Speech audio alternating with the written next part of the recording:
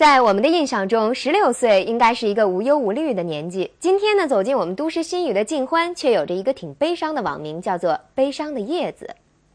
你可能就觉得人从一生下来就被命运安排着。今年全国残疾人文艺汇演华北赛区的比赛在咱们省会举行。今天是八月十三号。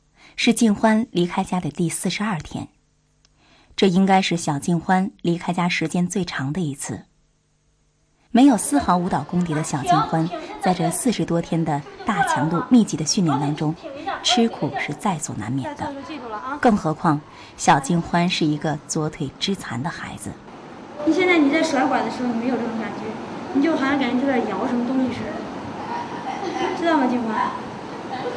你想一想，当初如果不是，如果不是那个医生耽误你的耽误你的时间的话，你马上送到石家庄医院，可能你就此就是一个健康的人，你不会走到这个队伍当中。我妈也就是有有预感似的，往家里打电话，谁知道没人接。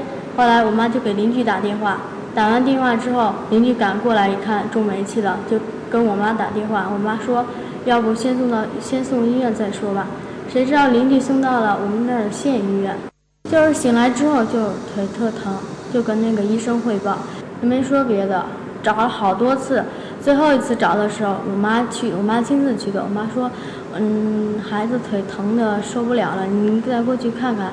好像那个医生有觉悟似的，就去了过来，他说，赶紧转院吧。然后到那儿之后。就开始打通血管，打了八个小时没有打开，所以没办法，只好截肢了。苦难使人成熟，可是小静欢成熟的代价有些大，今后的人生都将重新改写。有一感受去犯罪，让你造成你一生这种痛苦的一个一个源头。你在晃拐的时候，你有这种感觉，你非常的恨，非常的着急。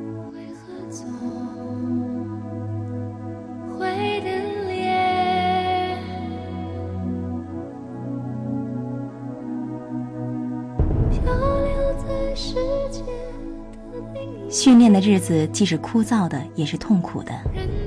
可能是从来没有离开家这么长的时间，小金欢时常会因为想家而失眠。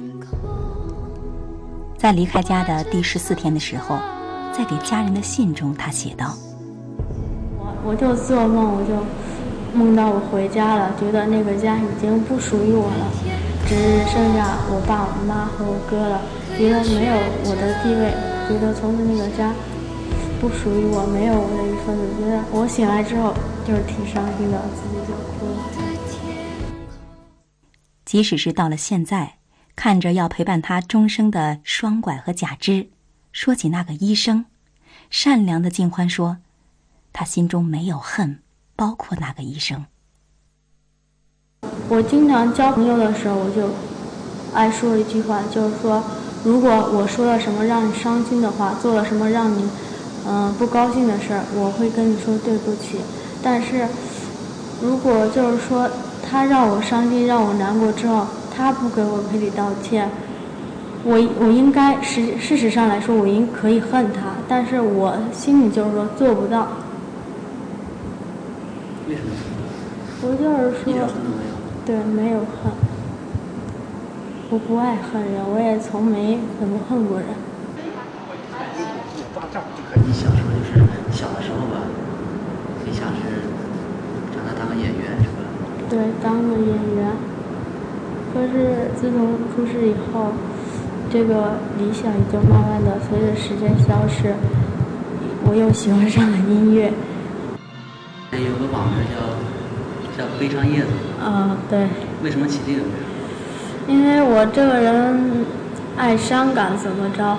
我又特喜欢那个树叶，我我又特喜欢春秋天落叶的时候那种感觉。看着静欢投入的神情，我觉得他不只是单纯的投入在了舞蹈当中，这里面更多的是他个人不向命运屈服的顽强抗争。